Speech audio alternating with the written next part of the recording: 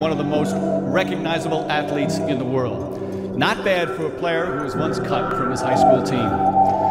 But that didn't stop Michael. In fact, nothing ever did. And after soaring to the top of the NBA, there was never a doubt that Air Jordan would one day land in the Hall of Fame.